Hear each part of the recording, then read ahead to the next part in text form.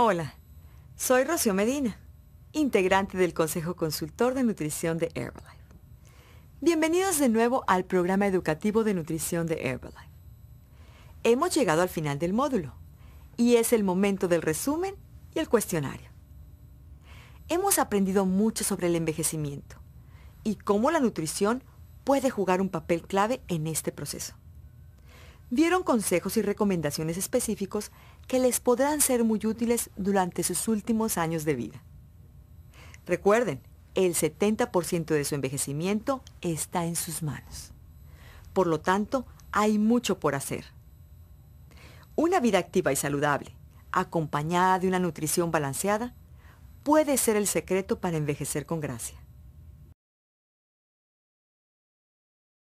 Es hora de repasar lo que hemos aprendido durante este módulo. Demos un vistazo. Si los problemas de la nutrición se desarrollan más temprano en la vida, usted necesita poner más atención en corregir esas áreas cuando envejece. Un paso importante es estar más activo físicamente. Para el envejecimiento saludable del cerebro, los músculos y la piel, usted debe prestar atención al ejercicio regular a una alimentación saludable y a los suplementos nutricionales. ¿Qué es el envejecimiento? El envejecimiento se refiere a los muchos cambios que ocurren con el tiempo, incluyendo los cambios físicos, psicológicos y sociales que suceden a través de los años. Con el envejecimiento, algunas cosas mejoran, mientras que otras empeoran.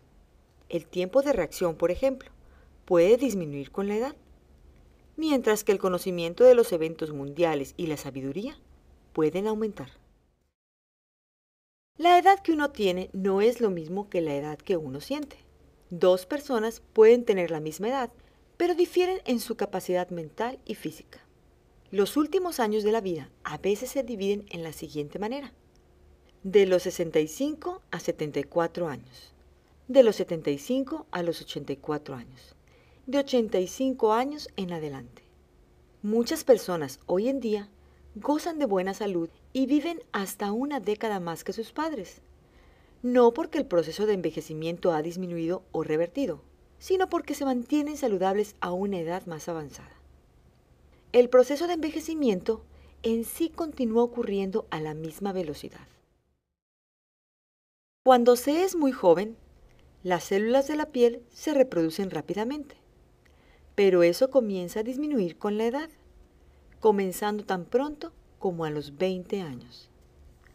Entre los 20 y los 35 años de edad, el envejecimiento celular y la pérdida celular ocurren en los órganos, incluyendo el cerebro, la piel y los músculos. La radiación ultravioleta solar, los alimentos no saludables, la contaminación y otras toxinas perjudican su cuerpo. Con el tiempo, estas toxinas pueden causar daño a los tejidos y el cuerpo se queda atrás con el mantenimiento y la reparación de sus células, tejidos y órganos. Las investigaciones muestran que las células tienen una capacidad limitada para dividirse. En el ambiente de laboratorio, las células mueren después de 20 divisiones. Con cada división se pierde parte del material genético, los fragmentos de ADN llamados telómeros. La célula muere cuando se pierde cierta cantidad en los extremos de los cromosomas. Cuanto más daño hay en sus células, éstas necesitan replicarse más, lo que acelera este proceso. ¿Sabía que hasta un 70% de cómo usted envejece está bajo su control? Solo el 30% depende de sus genes. No puede elegir a sus padres ni a sus genes, pero sí puede vivir una vida saludable y activa y consumir una dieta equilibrada.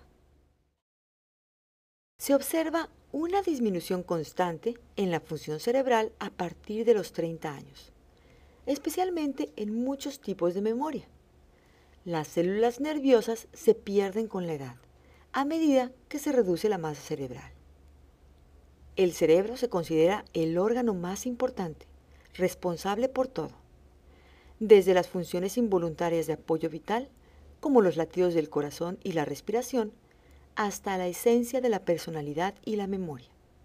Este contiene más de 100 mil millones de células, incluyendo las neuronas, las células especializadas responsables de transmitir los impulsos eléctricos a través del sistema nervioso central.